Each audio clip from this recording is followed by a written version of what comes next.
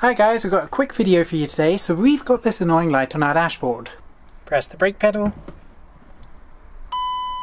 Error. So we're going to show you how to replace the brake light on a 2014 VW Crafter. Right, so this is our rear brake light cluster. Yeah, and that is the bulb that is gone. But this will work if you need to replace any of these bulbs. So we've got one, two, three Torx 25 bolts that we need to remove. One, two, and that's three.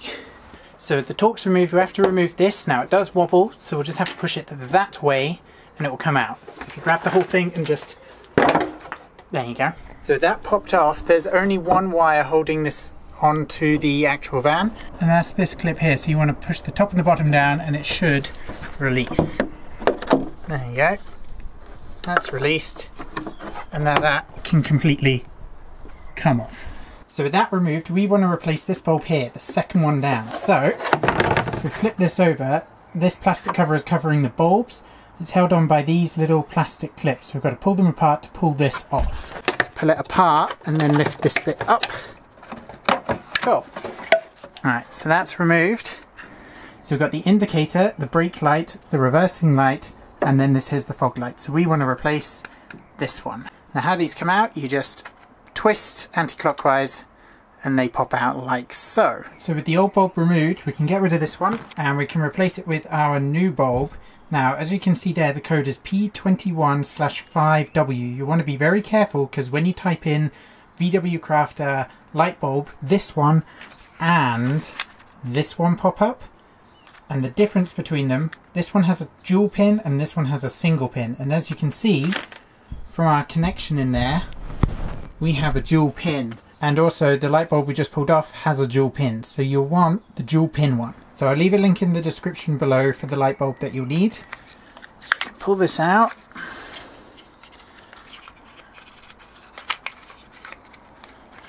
Now as you can see there are grooved slots on the actual place where you put the bulb in and that's to accommodate these pins on the side of the bulb.